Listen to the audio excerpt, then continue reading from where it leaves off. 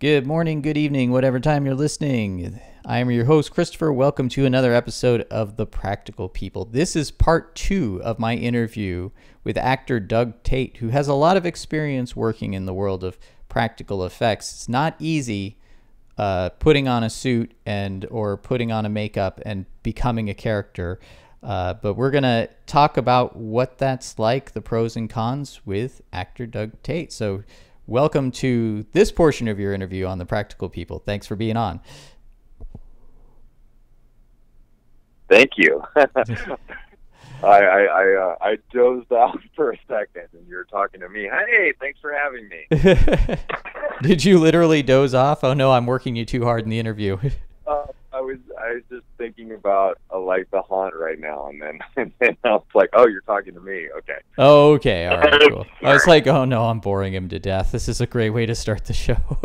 but yes, we were we were talking about uh, your show, The Haunt, which is uh, you talked about in the other episode is is your uh, TV pilot about working in a haunt, and I can actually relate to this a lot because my I, I like to think that my career in filmmaking and in special effects started with the fact that I, as a kid, used to set up a haunted house in my garage every year. I, I was I was lucky enough because in the 80s this is harder to get a hold of, but I had access to a smoke machine and a black light and strobe light, hung chains and spider webs, and would dress up. And uh, I was also inspired by was Iron Maiden's Eddie Iron Maiden coming out on the stage so I'd try and create some giant creature in the garage to scare the neighborhood kids with and it was always successful it was like people were you know parents were telling my parents hey my kids wanted to skip houses to come here so you had a very similar um,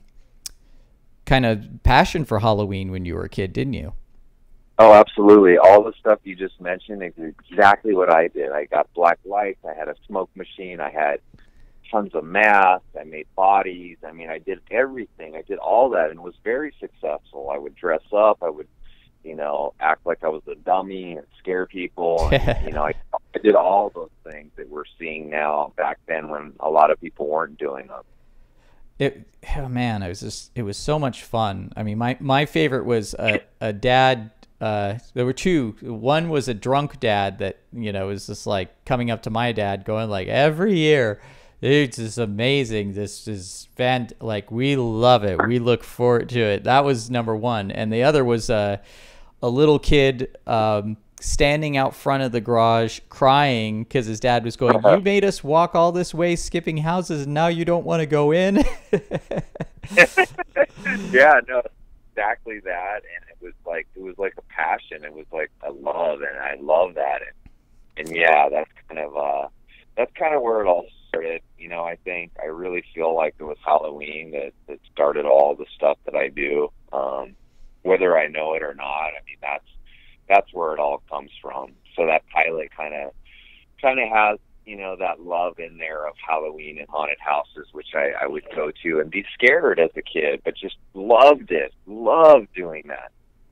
So you also did Universal Studios, which has gotten quite a reputation for for its haunts.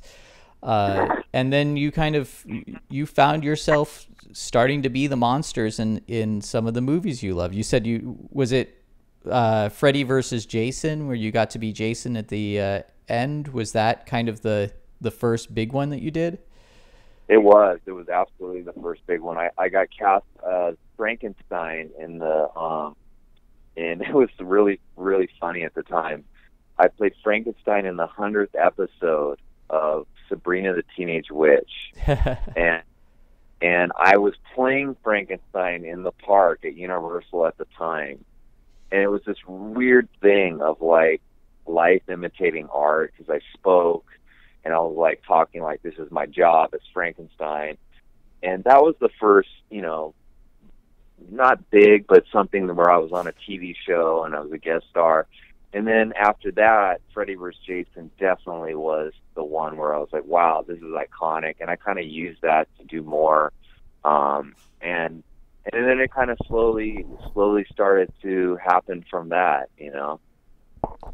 And, and I got to say, by the way, just, um, Sabrina the Teenage Witch was actually a really fun show. So I I, I kind of think there's there's some cool cred in that as well.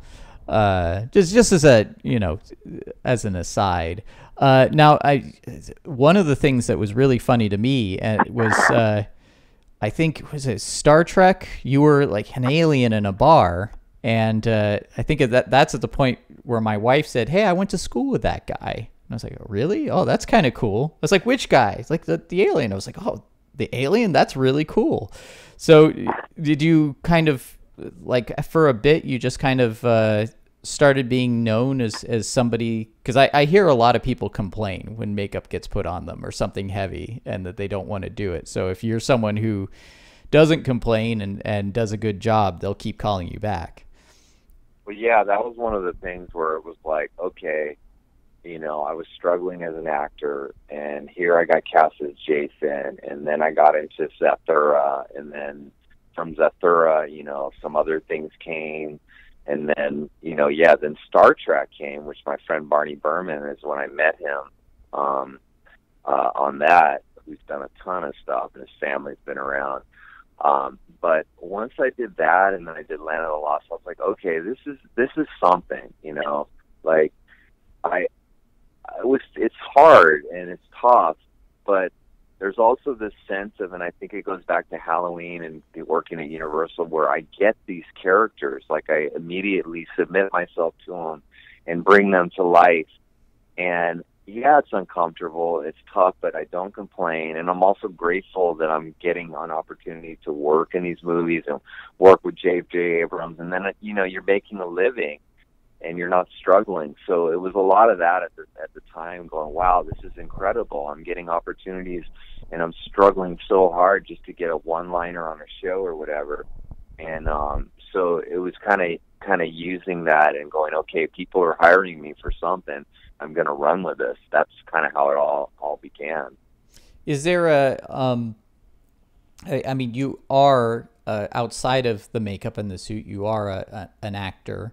Uh, is there a difference in acting? Is is this more about emoting, or are the techniques similar? You just kind of have to push them through the uh, the makeup and the foam rubber. Yeah, no, it's definitely a different process. Yes, I'll think about the character and I'll figure out, you know, what you know what what kind of uh you know who he is based off the script, based off the design. But as far as every character is different, so um, in prosthetics, you definitely have to exaggerate um, your your facial expressions. And as an actor out of makeup, you would never do that. You would never look in the mirror and over accentuate your face because then it's just totally bad acting. But in makeup, you kind of have to do that, and every prosthetic reads different.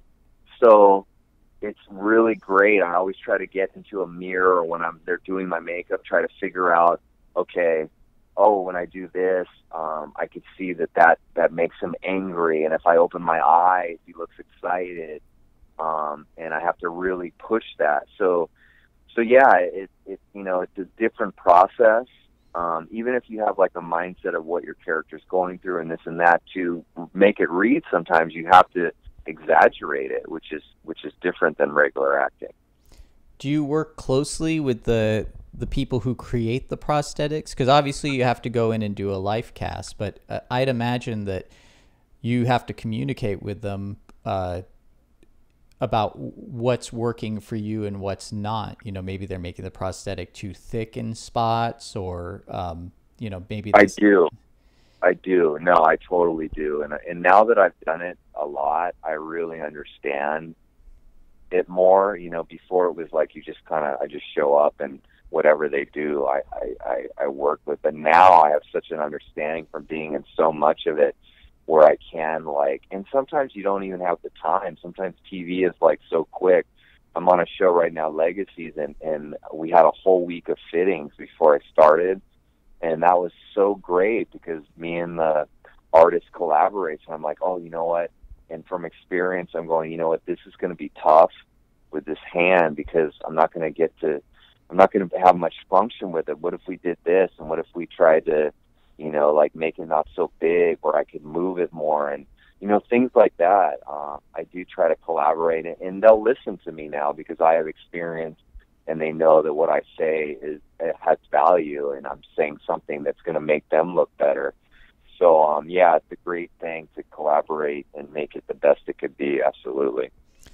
Is uh, I, I don't. What would you say for a, a somebody creating a, a prosthetic or or a suit? Because sometimes, I mean in Hellboy, you had a whole animatronic head on your. You were carrying around a big weight. I mean, how much did that thing yeah. weigh? By the way, that thing weighed fifty pounds, man. That was a really difficult character. It weighed oh, fifty man. pounds.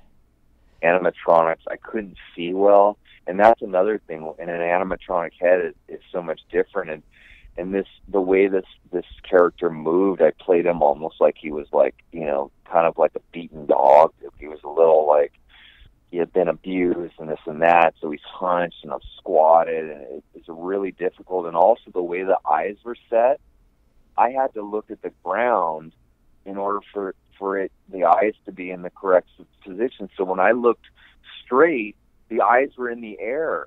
So getting used to just walking the way I had to walk with all that weight, all that heat, not being able to see well, and having to look at the ground and and you know I had to fight David Harbour, I had to act with Milla, and I'm stepping on her dress, and all that you're dealing with, and all all that it really took time to to try to hone into that character, and I finally did get it, but it was it was a tough one, man.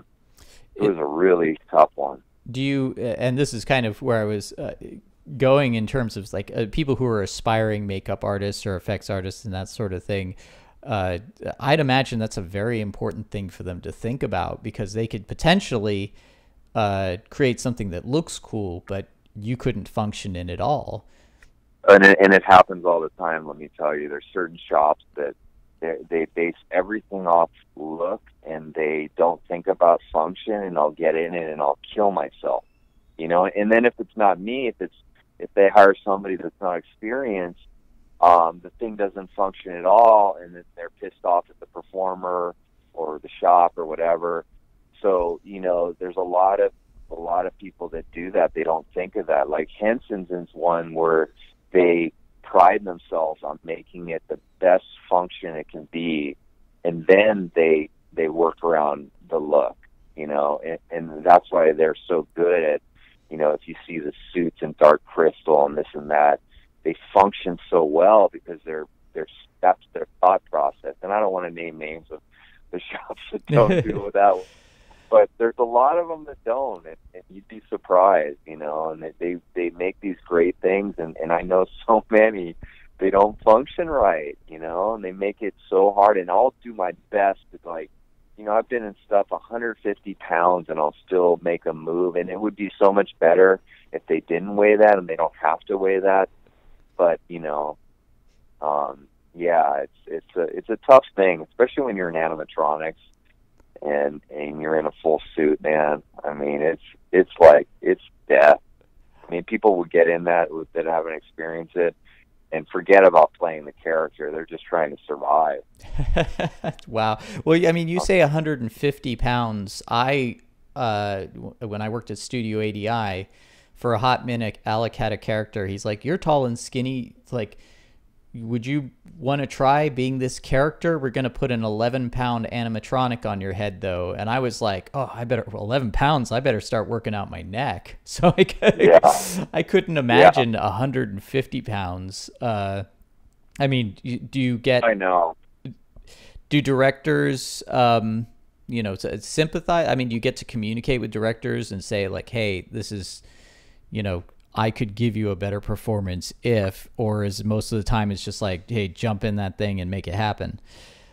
A lot of times it's jump in that thing and make it happen. And then, um, you know, a lot of times you're sought after. So that some, some people just think, well, you know, that's what we're hiring them for. But, you know, I'm also a human being. And, you know, when you're in lifts and, and you have 35 pound arms and you're fighting and it's the ground's uneven there's bodies on the floor you can't see well i mean there's there's certain limitations you know I'll, I'll, a lot of the stuff I'm doing is based off instinct and my training, and I, and I get by. But it doesn't mean it. It could be a lot better if it was built a little to make it easier for me. And Hellboy was rushed. I mean, it was like they decided to shoot it.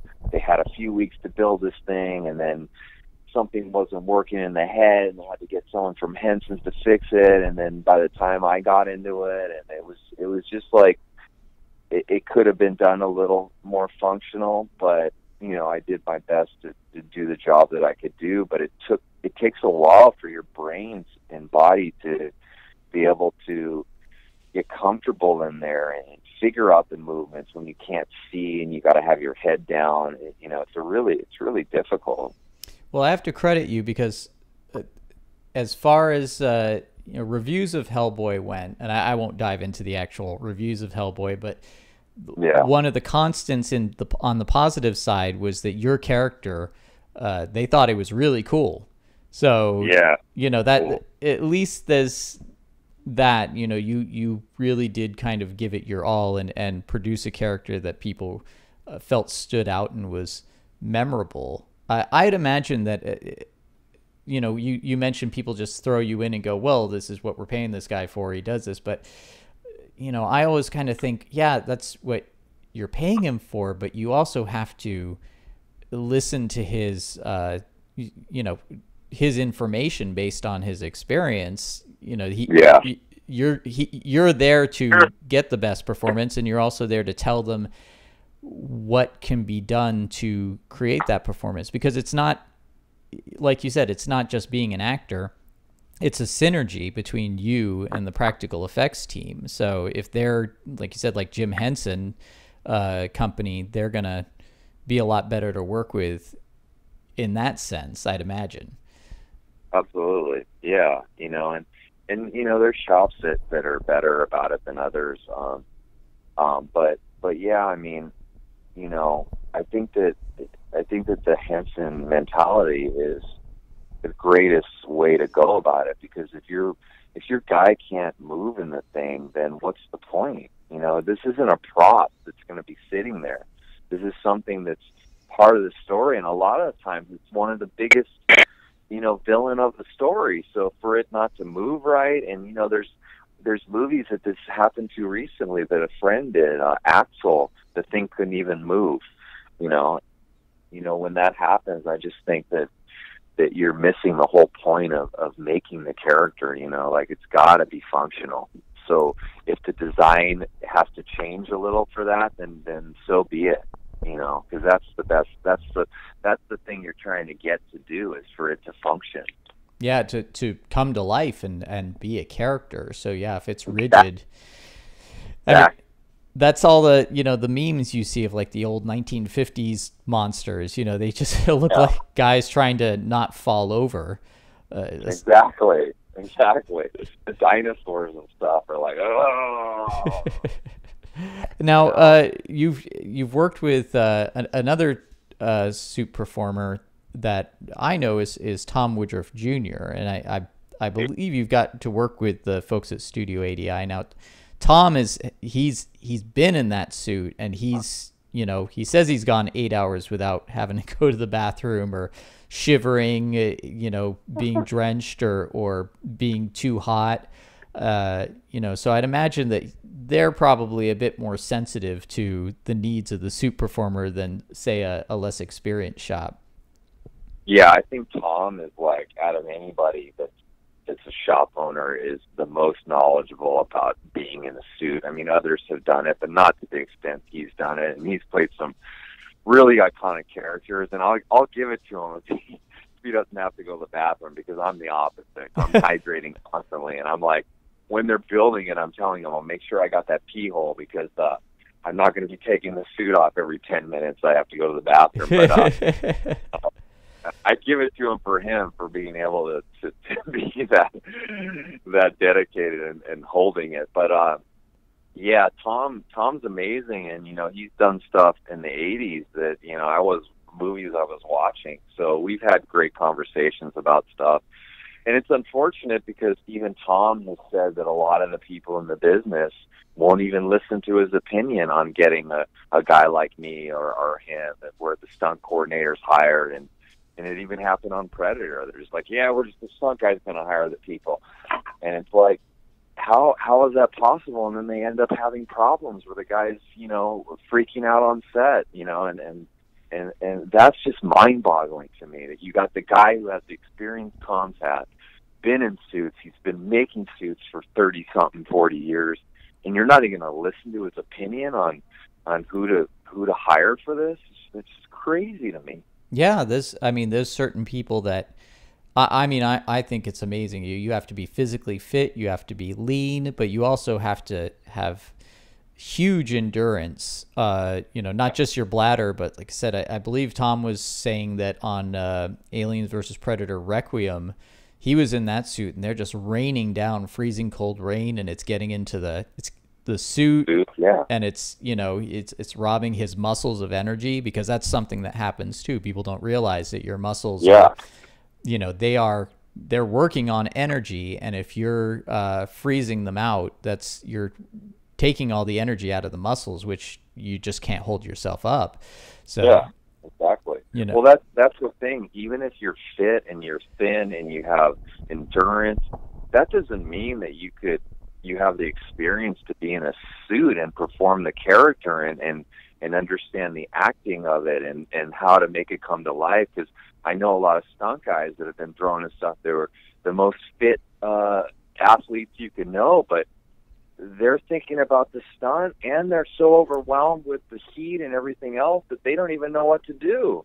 So even that being said, somebody like Tom or Doug or myself having the experience and being fit and being flexible and understanding character and being an actor, it's it's it's it's a skill and when it, whenever it's kind of glossed over you know, it's like, oh, we're just going to hire a, a stunt guy, or you know. And I'm not saying anything about stunt people because I give it to them for what they're doing. But I'm saying in in the talking about being somebody in a suit or a makeup, you know, it's a skill just like a martial artist is a skill. You don't just go, oh, I'm, we're just going to get anybody to to do this martial arts role. Like it doesn't matter. That that's kind of the same thing, you know. And and and that bugs me when that happens, and it's happened a lot and and that's one of the reasons why I started, you know, getting into stunts just so I could, you know, people would know me when I get cast in these characters. Where oh yeah, Doug, I, I've heard his name. He could be physical.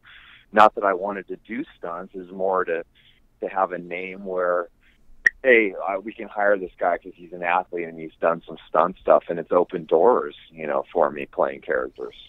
I I also kind of just want to point out too. I mean, you, I I see your Instagram and I, I see you on Facebook. I mean, you're in constantly in incredible shape. Um, and I was also kind of, I, it was very interesting to me to see Doug Jones' Instagram because here's a guy who stays incredibly lean, but to think that he's frail or or weak would be uh, an incredible uh, mis- mistake to believe that because he is like doing these amazing yoga poses. I see pictures of him with his trainer. They're like holding each other up in the air, and he's oh, yeah. always doing these very um, these poses that are very kind of strange moves and things with his hands. I mean, it's it's it is kind of like a martial art in a way, but it's it's a performance martial art where he's uh, he's learned to kind of strike these poses that emote those uh, those feelings physically. Absolutely, yeah. No, it's it's you know nobody could handle doing that and, and the stamina to be in a makeup if they just are, are, are a stick, you know, like being thin is just part of his DNA and that's how he is, but he works on his flexibility. He works on those things and there's no way getting to the age he's getting to be able to do those things just based off oh he's skinny. I mean it's just it's it's just it's ridiculous. He he obviously trains and and stuff like that. So What's your regiment like? Uh, I mean, I know you you've transitioned more into uh, acting what I would call, I guess, for lack of a better word, regular parts. You're doing more of that now, but I, I'd imagine yeah. you're still uh, Yeah, I, I think you're still doing the Sasquatch commercials, right? Oh yeah, yeah. Well, the thing is, is uh, once I started working this way, and also, um, also, you know, getting older. Like I've always been an athlete all my life, and I've never stopped fitness. But my fitness has changed in the last ten years. It used to be just lifting weights and playing basketball, and now it's more tailored to like calisthenics. And I do a lot of a lot of animal movement exercises. I found these animal movements called animal flow, and I got into that, where it's a whole workout of movements, doing different movements mixed with rings and bar, and um, and I still play basketball, and and so it's I, I work on all aspects of fitness, and when I have a role, I try to train my body to match what I'm going to be doing in that role. So if it's something like Hellboy, for instance, I was training with a weight vest, bent over with my legs in like a, a crouched basketball guarding position. So it's very awkward and uncomfortable, but I'm trying to get those muscles and flexibility um, to become like because if I if I feel like it's hard doing something, then I'm not in the moment of the character. But if I can get those muscles, you know, ready and where it's it's like second nature, then I can get into the the movement of the character. So that's what I try to do, and and I continually um, work on more movement based calisthenic stuff as opposed to like the guy at the gym just doing their you know weight routine. So your your exercises actually are uh, your routine changes according to the character. I, I guess that's yeah. an anticipation of, of what you're going to wear, but I'd imagine it also kind of trains your body to, to posture for that creature.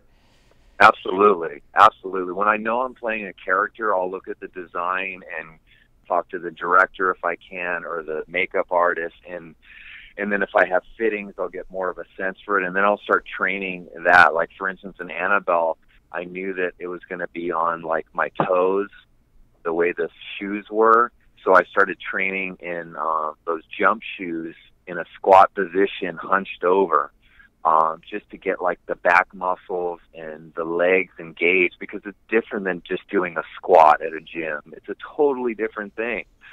So being in that position, hunched over, and then also having a like a big head on, um, I, I tried to train my body for a good couple weeks before I got on that. So then once I got on there, it was kind of like my muscles were ready to go, and I could perform the character uh, the, to the best I can.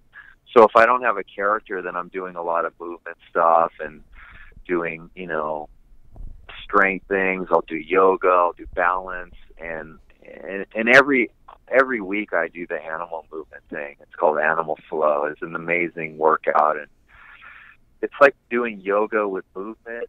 It's like constantly uh, engages so many different muscles and it's cardiovascular. It's fun. It's like a flow. It's not like a workout. I'm like like I'm not going. Oh, I got to do this set of it. It's just I just get into this flow state, and it brings back the basketball days where I'm not playing basketball to get a workout. I'm playing basketball because I enjoy it. So that's kind of my uh, my routines.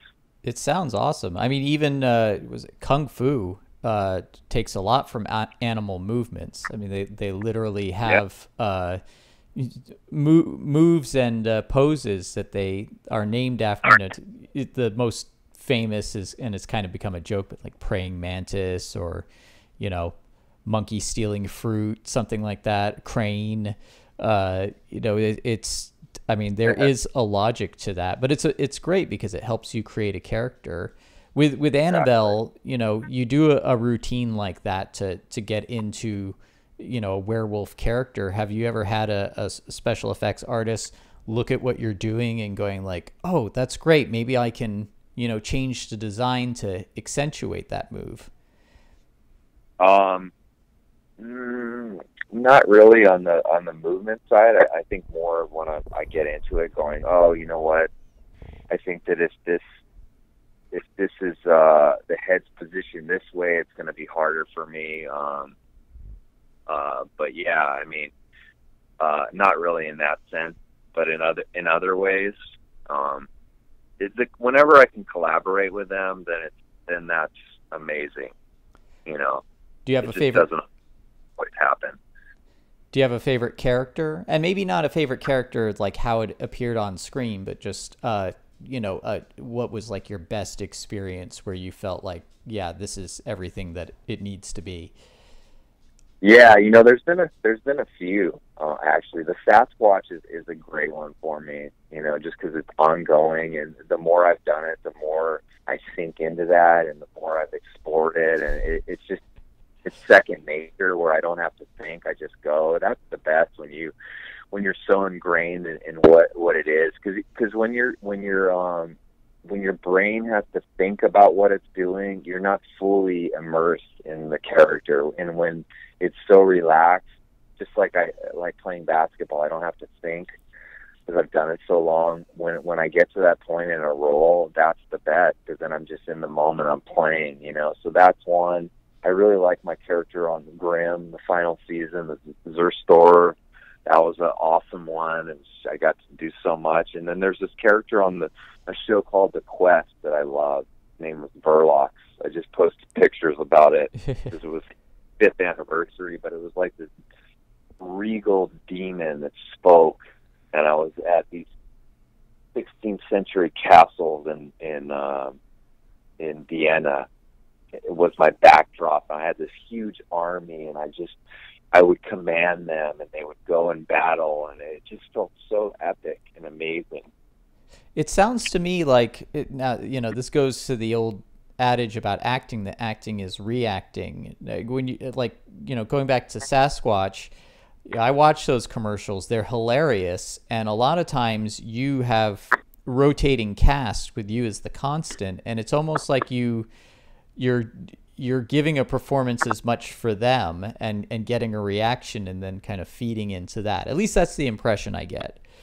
That's so it's so great that you notice that because that's exactly what I'm going for. Like when I get to play and they use that, that's when the funniest stuff comes out. When I get to explore and get reactions from the people and then play off those reactions and they play off me, then whatever's written is you know whatever's written is never as good as what comes off the cuff in the moment. You know it's the same thing we talked about in the last interview of just just kind of you know not planning anything because what you get when you're not planning stuff that comes organically is the is is what the audience enjoys the most you know? So so absolutely i i just try i try to get reactions and things from people and improv sometimes and and that's when the gold happens. It yeah it really does come through especially you know and, and it was kind of nice too i know you're a big uh you're big into basketball and you got to do some sasquatch playing basketball and oh, you know that was it, it, just kind of there were some really funny moments like when you're in the locker room with the other athletes and you're doing things with wind blowing through your hair and it's like it yeah. it really is something that I think it's it's always fascinating watching commercials that have ongoing characters and and how those characters evolve over time and some of them like peak and then they kind of go downhill um, or you know some of them just like almost become their own stories. I mean, I I even think what was it like the caveman from what was it Geico? Yeah. I think they tried to yeah. give him his own TV show at some point. They did. They did. So you know, yeah. but yeah, that I mean that's really cool to hear though because I think ultimately that's a synergy that is a, a constant in you know whether you're performing in a suit or if you're you know part of a, a cast on set, you know just being a character without that makeup on. So it, yeah. it's fun to hear.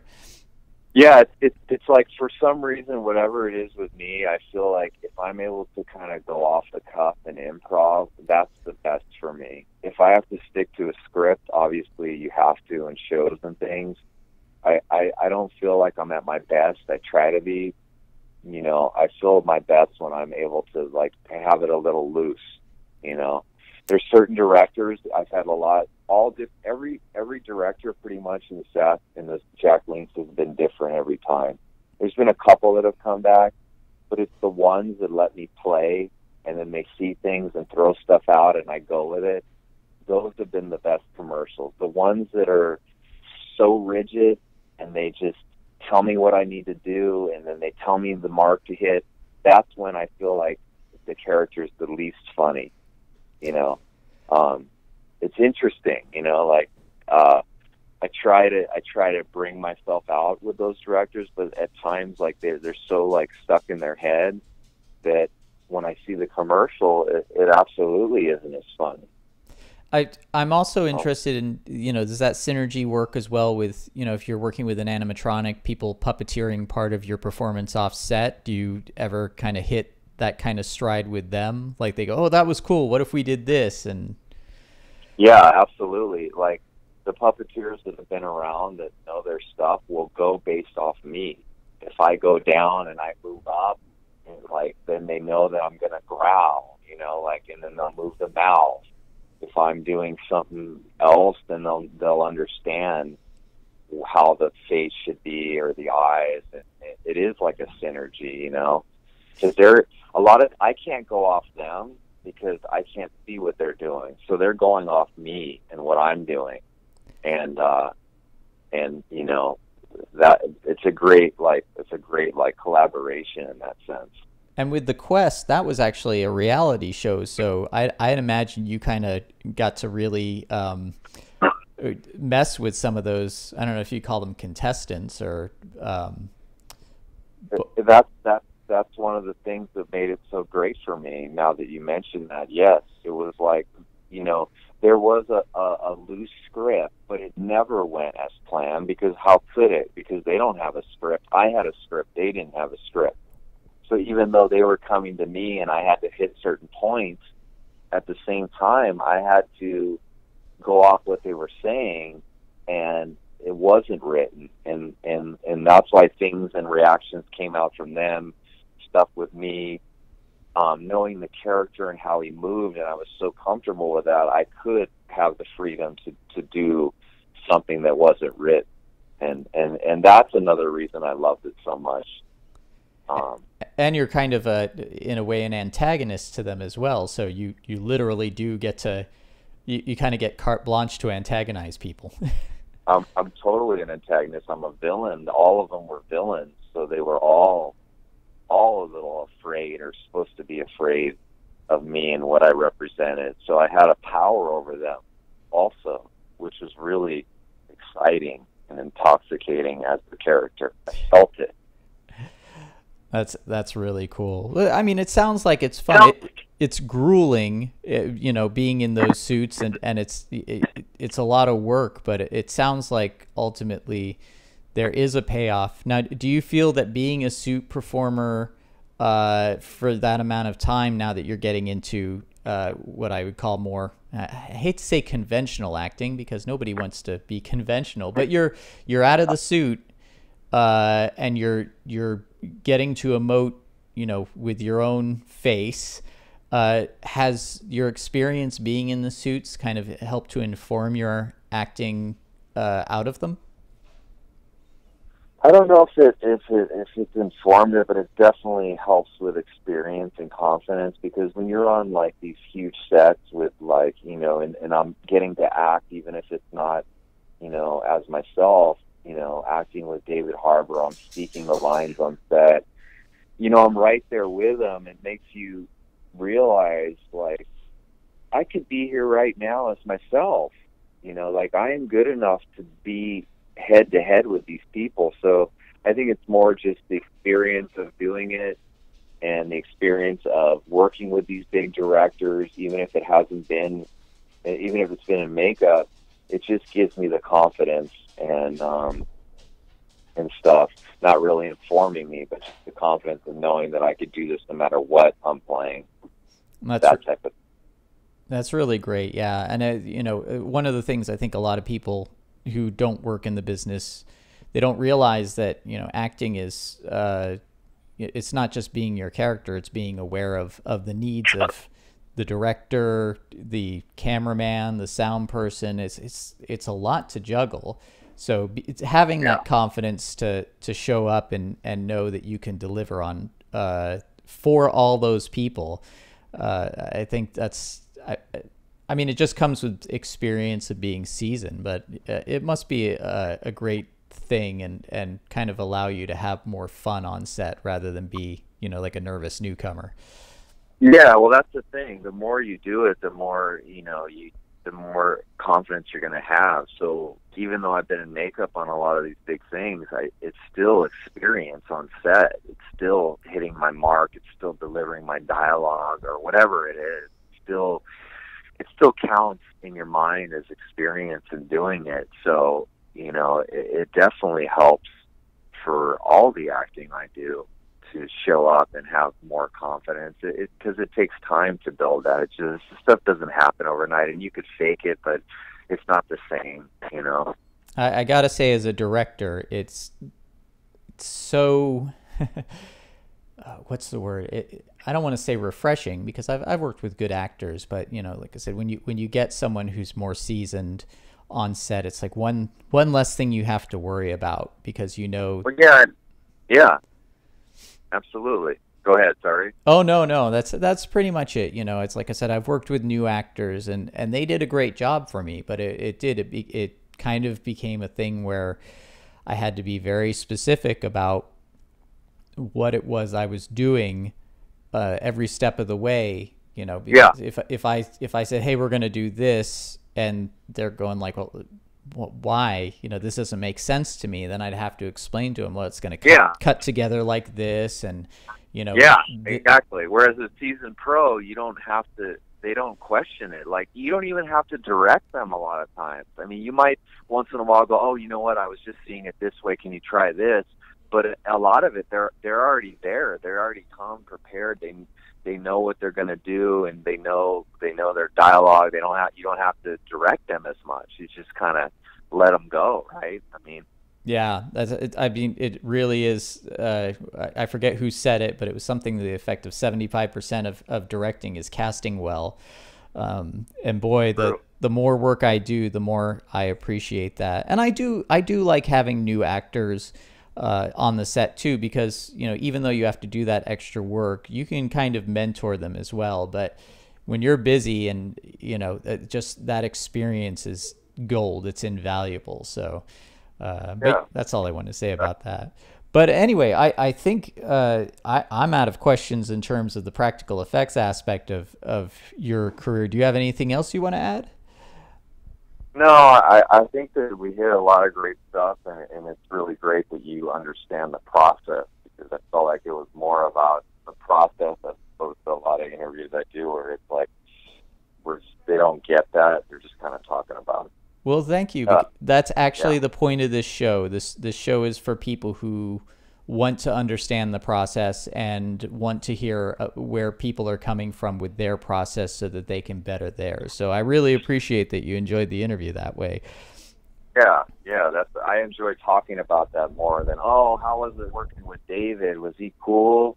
You know, like like how was Milla? What was she like? It's like, you know, you can only go so far with that before it's like, okay, done with talking about that. And, and besides, what else are you gonna say? You know, you're not gonna do an interview and go like, "Ah, I hated working with that person." Like, if like, yeah, you no, know, even if even if there's people that I didn't enjoy, I'm not gonna say that. Yeah, so it's it's just phoniness. Then I'm just saying what you want to hear because I'm not gonna be a you know mouth bad mouth somebody. For the record, before the, these interviews started, uh, Doug did say that he enjoyed working with them and that they were cool people. So yeah, yeah. don't we're not we're not uh, backhanding them. Anyway, well, no, not. thank you very much to everyone for listening. We're going to do a quick after show on my Patreon for the Patreon supporters. So if you're a Patreon supporter, please head over to Patreon and check that out. But uh, Doug, I want to say thank you so much for being on the Practical People. You're welcome. Thank you.